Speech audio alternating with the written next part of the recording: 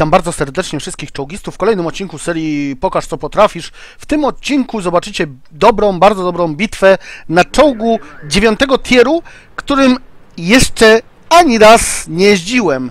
Czyli jest to jedyny dziewiąty czołg ciężki, yy, który mm, nie był przeze mnie e, mm, ujeżdżany. Dlaczego?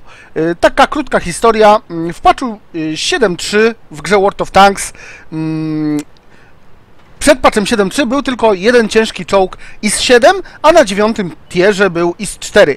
No i od patcha 7.3 mm, IS-4 został zamieniony y, na dziesiąty y, czołg, dziesiąty tier.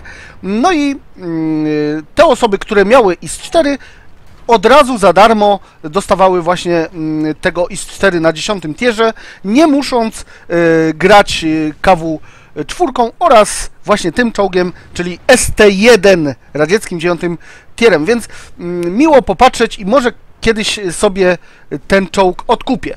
Ta bitwa jest na mapie Lakeville, a mm, gracz, który mm, właśnie pokazuje nam swoją bardzo dobrą bitwę, być może jedną z lepszych, którą wykonał, bo dopiero mało bitew rozegrał, to gracz o niku Jajko1. Cześć! Cześć. W zasadzie jesteś Mexus, ale mm, tak jakoś wybrałeś, to było chyba kilka lat temu, kiedy założyłeś konto, mimo to, że masz tylko 5000 meczy. Y, to dlaczego zostałeś tym jajkiem w grze World of Tanks, a nie Mexusem? Cztery lata temu jeszcze jak e, chodziłem do gimnazjum, wybrałem ten nick, no i nie byłem za bardzo rozgarnięty wtedy. Też troszkę mi słabo wychodziło i miałem taką dwuletnią przerwę.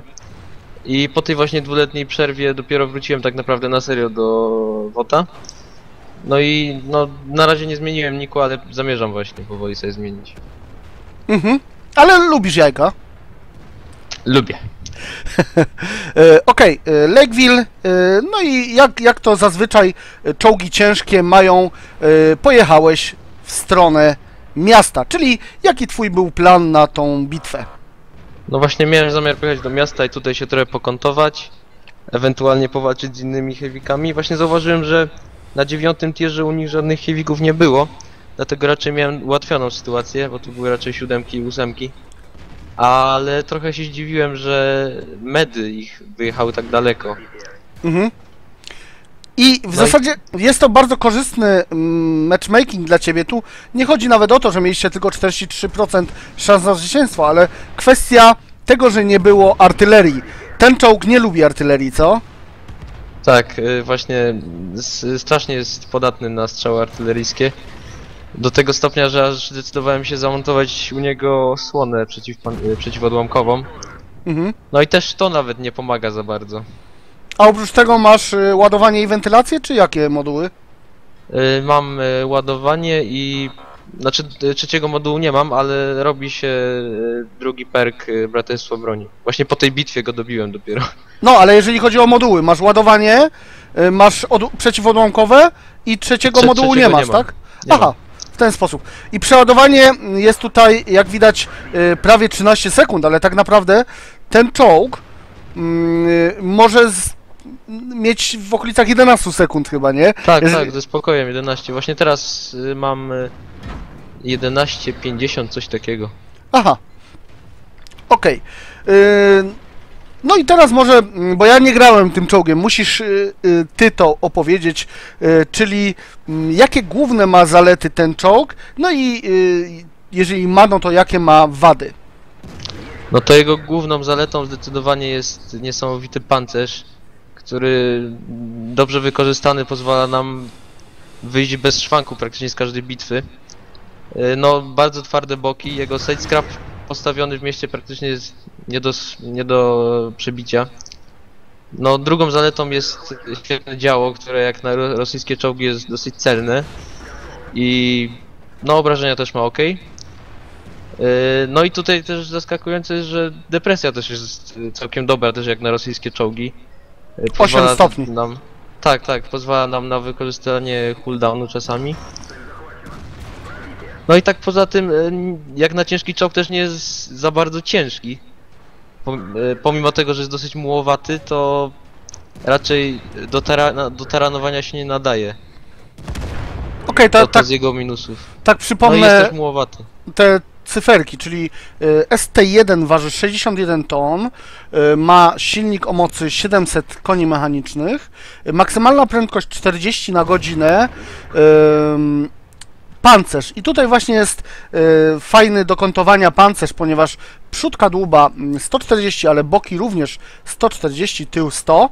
E, a jeżeli chodzi o wieżę, tutaj też e, wieża bardzo mm, dobra, mm, ponieważ 250 z przodu i po bokach 160 oraz z tyłu 160. Czyli mm, niby taka duża ta wieża, on e, tak przypomina mi, mm, kiedyś się śmiałem, e, bo przypomina mi królową mrówek z taką e, dużą głową. Okej, na razie mm, ponad 5000 obrażeń. 9 do 10 i mm, tak naprawdę mówiłeś mi przed bitwą, że taka dziwna trochę bitwa, ponieważ miałeś nad sobą siostrę. Tak, y, to była taka spontaniczna dosyć bitwa, bo tak a sobie tak po prostu usiadłem i rozmawiałem z siostrą, ona nade mną gadała. A no i tak jakoś po- powoli to wychodziło, wychodziło. No i wyszedł dobry wynik w końcu. No, ale oczywiście teraz zauważyłeś na minimapie, że dwa czołgi są e, na kapie. E, Ru prawdopodobnie gdzieś będzie po środku. No i jeszcze są dwa czołgi gdzieś tam na linii 2. No więc y, koniecznie trzeba było się wrócić. Ale plusem teraz jest to, że zostałeś jako jedyny dziewiątym tierem i Tak. masz full HP w zasadzie. Tylko staranowania chyba ci ktoś tam wziął mm, 12 HP. Tak, po taranowaniu KW3. No właśnie to jest ta zaleta, że on praktycznie jeśli nie ma artylerii, to jak się nim dobrze gra, to może wyjść bez szwanku z każdej potyczki. Właśnie Mhm. pod koniec bitwy te zalety dopiero wychodzą. Mhm. Y, A jak na przykład y, walczysz y, z dziesiątkami, widzę, że tu nie masz ani jednego złotego pocisku założonego. Penetracja 258, y, czyli w zasadzie ten czołg, tu nie trzeba zakładać mm, goldowych nie pocisków, bo tu jest działo w zasadzie to samo, co ma IS-4, mm, czy Tak. też IS-8. Y, Oczywiście IS-8 nie grałeś chyba, nie? Nie, nie, nie grałem. No, IS-8 ma y, szybsze przeładowanie, jest o wiele mobilniejszy, ale za to No ale y, pancerz jest gorszy. zdecydowanie y, miękciejszy. No i mm, y, wszystko ładnie wychodzi. W zasadzie, no niby zostałeś sam jeszcze tam z Black Prince'em, ale mm, trochę denerwował cię ten ru ze środka, nie? Tak, całą do końca bitwy będzie zasypywał mnie gradem hitów z każdej Z Golda. strony. Tak, właśnie z Golda. Ale No tu na i- szczęście masz wrak ISA 3 y, i trochę cię broni przed tym strzałem. Tak, i tu jest właśnie świetnie pokazany ten jego pancerz, który tak naprawdę potrafi niesamowite ilości pocisków odbić. Mhm. Nawet, nawet te hity od tego ru czasami tam się zdarzało, zdarzało że bok odbijał. No, no, no, no. Y, Słuchaj, to jakie on ma, jak na przykład y, spotkamy takiego ST1 mm, blisko siebie w mieście, y, to gdzie, jakie on ma weak spoty, Mm, bo widzę, że włas y, dowódcy jest nawet taki w miarę do mm, ostrzałów, nie, znaczy jest trochę widoczny. Jakie on posiada takie weak spoty, gdzie strzelać w, te, w ten radziecki czołg ciężki? No właśnie y, ten, y, ta czapka, y, Mhm. chociaż się wydaje takim weak spotem, to ona jest też naprawdę dosyć twarda. Mhm. Trzeba się tak naprawdę pod idealnym kątem prostym w nią wbić. No chyba, że ma się, że- gra się niszczycielem i ma się jakiś tam większy kaliber.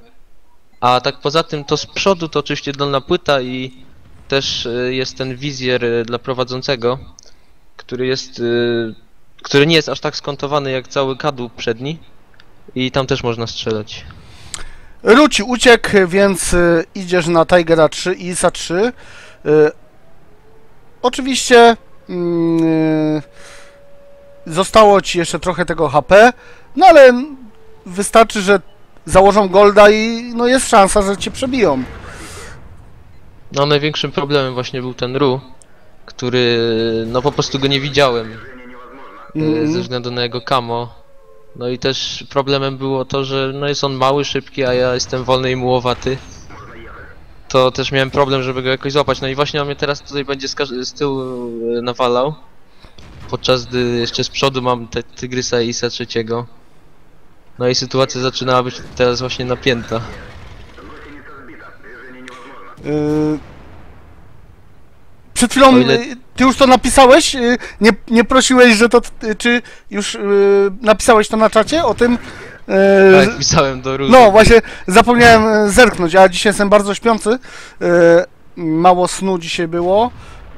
Napisałeś do niego, że please Ru, nie bądź taki okrutny dla mnie, nie bij mnie w tyłek. Jest to Tak, moja prosiłem bardzo dobra bitwa.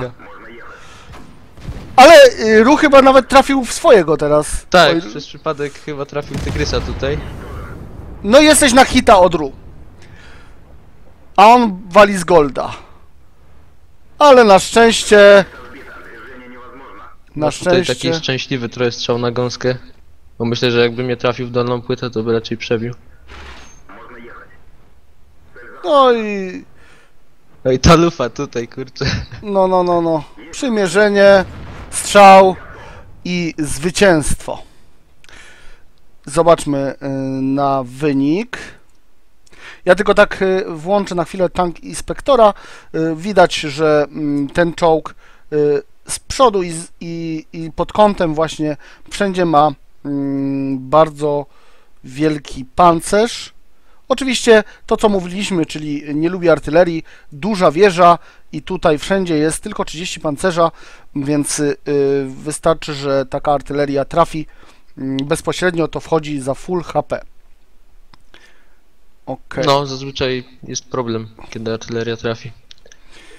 A więc y, raz, dwa, trzy, cztery, pięć, sześć, siedem, osiem, dziewięć, 11 uszkodzonych czołgów, 8 zniszczonych, y, kilka wyspotowanych, stalowa ściana, Ridley Waters, specjalista high caliber, mm, 1814 bazowego expa. No, niestety gra bez premki, więc y, nie jest to twój rekord, y, ale byłby, gdyby była premka.